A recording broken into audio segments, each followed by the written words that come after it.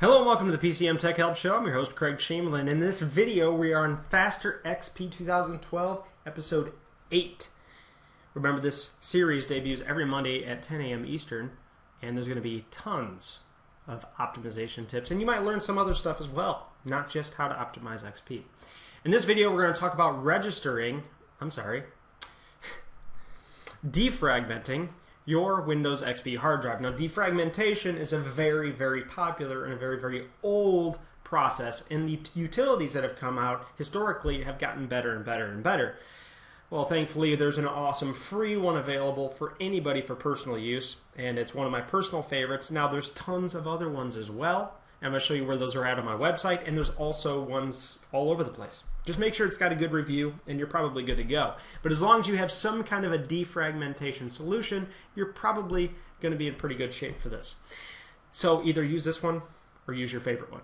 So let's go ahead and get started. Now, first thing I'm going to have you guys do is go to my website. That's at pcmtechhelp.com. Ignore the fact that I'm using Windows X, uh, I'm sorry, Internet Explorer for now, because that's actually a future video when we talk about speeding up your browsing speeds. And uh, what we're going to do here is we're going to select free downloads. And then once the free download section comes up, we're going to scroll all the way to the bottom. And that's where Auslogics lives. It's under the defragmenting section. Now you can see I have Auslogics Disk Defrag, Defraggler, and Smart Defrag. They're all great products. I recommend Auslogics just because I like the interface better, but that's pretty much the only reason why. So I already downloaded it on my machine for brevity's sake. So I'm going to go ahead and open up the installer here, and we're going to go ahead and get started on installing Auslogics.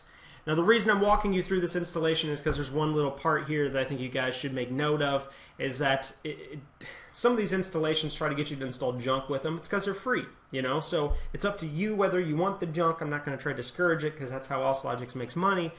But I wanted to kind of walk you through it that way you didn't blame me when you had junk on your computer. So when it comes up, just click Next. Of course, I have to tell you to read the licensing agreement, accept it if you accept the terms of use. Click Next again and again. And here's where the toolbars and the homepage stuff comes in. It is not required, it is optional. So we're going to go ahead and uncheck those. In my case, it's up to you whether you want to create them or keep them. I'm going to click Next. I'll go ahead and take a desktop icon and boom we have installed Auslogics Disk Defrag. Now in a second I'm going to explain to you what defragmentation is, but the first thing you're going to want to do after you opened it is you basically want to select this defrag download, um, defrag downs, defrag drop down, and we are very interested in the defrag and optimize section. Defrag is good and everything, but I'm going to tell you in a second what optimize does. Quick defrag, pretty much useless. Okay, so do defrag and optimize. It might take quite a bit longer, but it's going to actually do one of two things. Defragmentation is when you've got a file, okay? It's like, like uh, let's say it's craig.exe. Craig.exe, when it's written to your hard drive, is written in multiple locations throughout your hard drive. Your hard drive has an index that knows the locations of all those pieces and parts. So just because it's one file pieces of it are stored in various locations throughout your drive. That's what's called fragmentation. Now, when you call up that file, your drive has to look at the index and then it has to go and grab each of the pieces and assemble them, right? So the act of defragmentation is actually taking all those pieces and putting them together. That way it's easier for the disk to come in and grab all of them at once. And then you get faster disk access speeds as a result. Now optimization is takes it one step further. So we've already defragmented it, put everything in order. Optimization is actually going to make sure that the files that are accessed the most and most frequently are put closer to the center pin of the actual hard drive.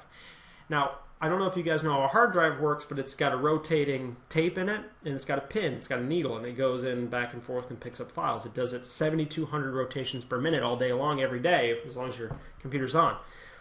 When you optimize it, you're putting it closer to the central pin so that way the drive can actually access that file quicker. So you have all the file together and you have it faster at the central pin.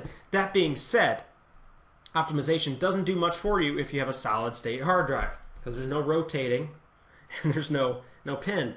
In fact, I would even argue that with solid state drives, they are so fast that defragmentation will not give you much of a benefit. But for most of you, you don't have $9 million to spend on a solid state hard drive because they are expensive. So that being said, defragmentation is always beneficial for a Windows XP machine.